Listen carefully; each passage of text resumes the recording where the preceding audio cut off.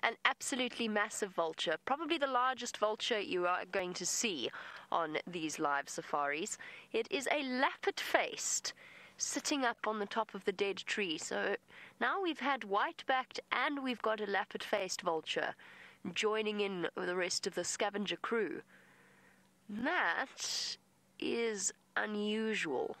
I mean, they're not, they're not, it's not unheard of, and we do see them every now and again, but it might be a new one for some of you to add to your bird list because I can't guarantee we're going to see one of these again anytime soon.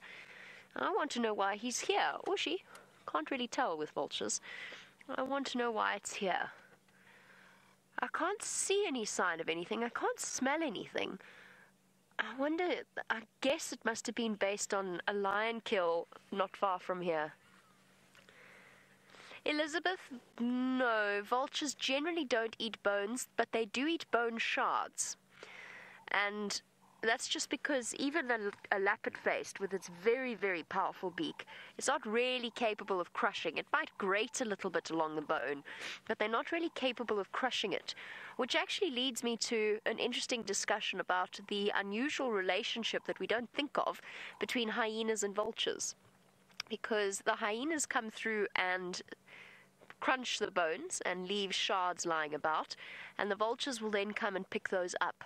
And it, very frequently, that's the female vultures, particularly when they're about to lay their eggs, because it's a great way, obviously, of supplementing their calcium intake. So, vultures do eat shards of bone, but they don't, they can't crunch open the bone themselves. So that makes quite an important relationship between spotted hyena and vultures that nobody actually ever really thinks about. Or lions, I suppose, potentially, because lions do also crunch on bones. But there is a there is that relationship between the two of them, and it's one of the things that I once heard put forward as one of the reasons behind a, uh, the lowering in the number of vultures in the wild.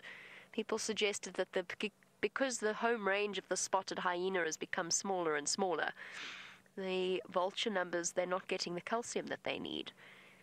I'm not sure if that isn't a bit of a stretch, but certainly, it is an important reminder that we don't always necessarily understand all of the connections between the different animals.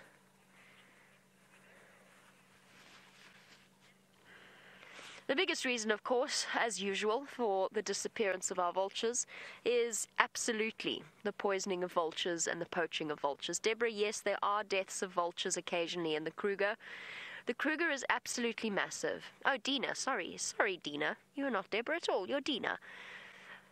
Um, it does happen. The Kruger is huge, and as intensive as the efforts are to keep all of the animals safe, it does occasionally happen that a waterhole is poisoned or a carcass that has been poisoned is put down to bait the vultures in. Unfortunately, of course, it I mean not not just the fact that it gets vultures, it'll get all the scavengers as well. It really is something quite horrible.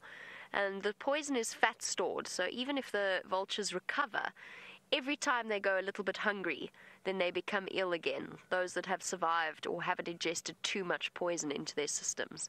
It's a horrible thought, isn't it? The reason that that happens is because there's an idea that vultures' brains will give you the ability to see into the future, because people believe that they predict where the actually see where the carcasses are. It's always, you know, it's very easy to love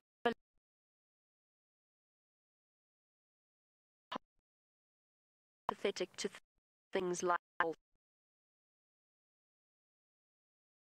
and I'm not really talking about